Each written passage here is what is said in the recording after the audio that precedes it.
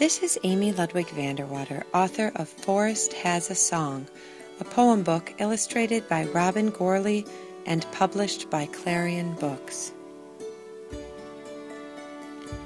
Every day, Forest is singing. Listen. Song.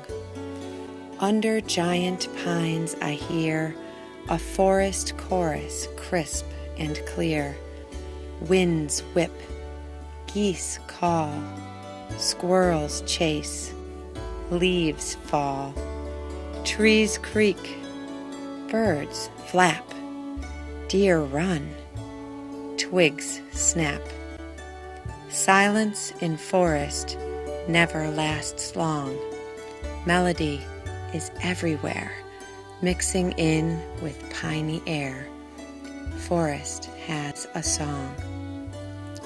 I invite you to step into the pages of our book as we hike through the words of the woods.